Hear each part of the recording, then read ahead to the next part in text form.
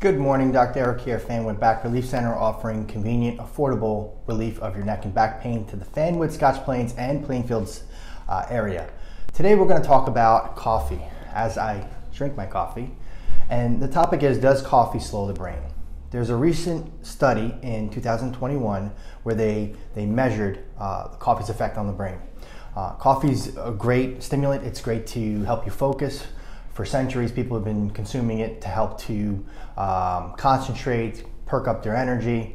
Um, keep in mind, this is just one study, but what they found was they recruited 32 habitual coffee drinkers and 24 non-coffee drinkers, and they asked them to compete, uh, complete, excuse me, questionnaires used to measure stress, anxiety, depression. Each participant underwent a resting state functional MRI that measures connectivity in various parts of the brain. The coffee drinker group exhibited decreased functional connectivity in two important networks somatosensory, which processes sensations like pressure, pain, and warmth, and limbic, which is involved in emotional responses, memory function, amongst other things. The coffee drinkers also had decreased um, connectivity in the subcortical and posterior brain regions, which include motor and emotional processing, as well as visual network and cerebellum.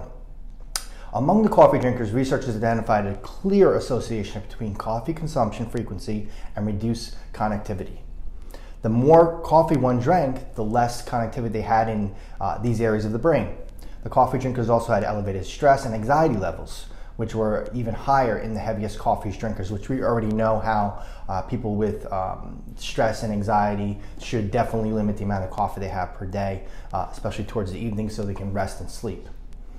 Uh, in the second phase of the experiment, researchers asked the non-coffee drinkers to drink a cup of coffee and then image their brain for a second time.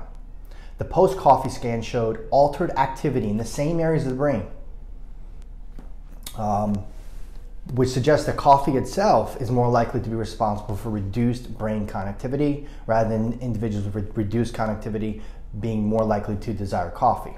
So the question is, is coffee bad for you? Well, like I said earlier, this is just one study.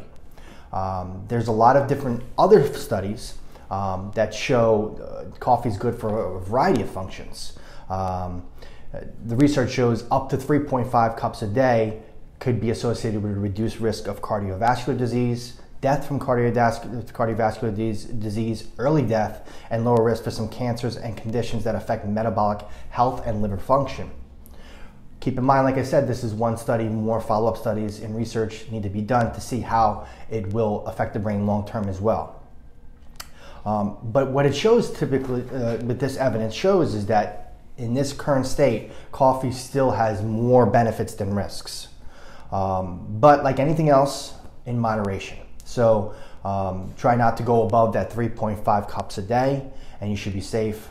Um, I like to see positive research on coffee because uh, I drink coffee every day and I love it. Um, but obviously, there's continual research in this area of study.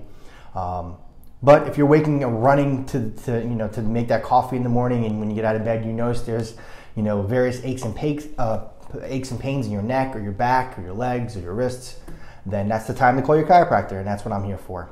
Uh, any questions about this study or anything else uh, that we treat in our office, please give us a call, shoot us a message. We are here and always happy to help. I hope you enjoyed this video, and we will talk to you next time. Have a great day.